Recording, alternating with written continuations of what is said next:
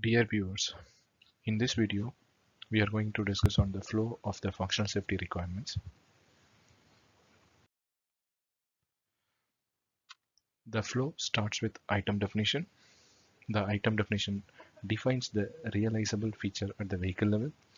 For example, cruise control is a feature used to maintain same speed during a long drive without using accelerator pedal. Item definition defines the functionality, interactions with other modules in vehicle, and with the driver of the vehicle via user interaction. Item definition also defines the possible failure modes and its hazards. After item definition, hazard analysis and risk assessment will be performed. In this, each hazard will be analyzed based on scaling of severity, which means how severe impact the hazard creates to human. Occurrence, how the probability of failure occurrence changes based on the external environment and operation. And controllability, how easy or difficult to control by the driver of in case of failure. ISO 26262 provides a table to compute ASIL level for each hazard based on these three parameters. Next, safety goals. Safety goal is a top level requirement to avoid or mitigate hazard. Along with safety goals, we'll be getting ASIL level and FTTI values. FTTI value is its fault tolerant time interval, which is a time span between occurrence of a fault and occurrences of hazard. Next, system architecture. System architecture defines the interaction of system elements.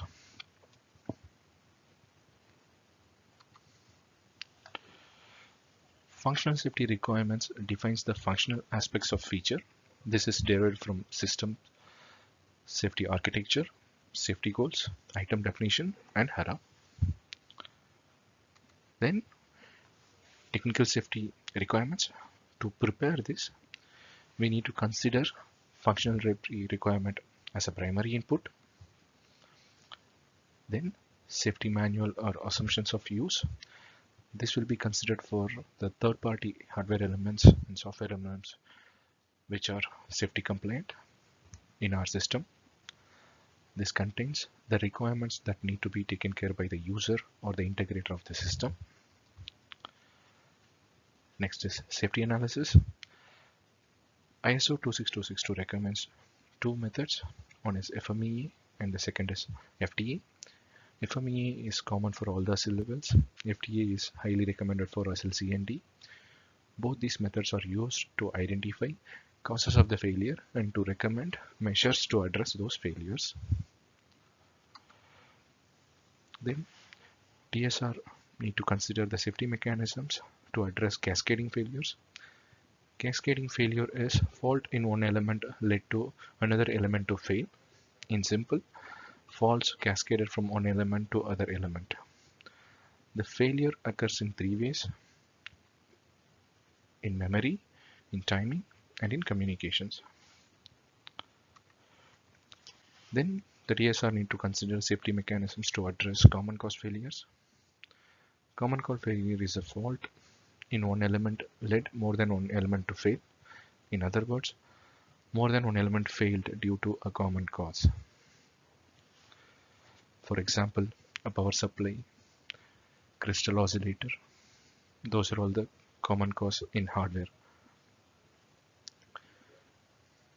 And then TSR need to consider requirement for ASIL decomposition. ASIL decomposition is a method of tailoring safety requirements when the requirements are not able to implement at the original ASIL level due to some constraints. In simple, this has two broad categories. One is QM requirement uh, plus safety mechanism at original ASIL level.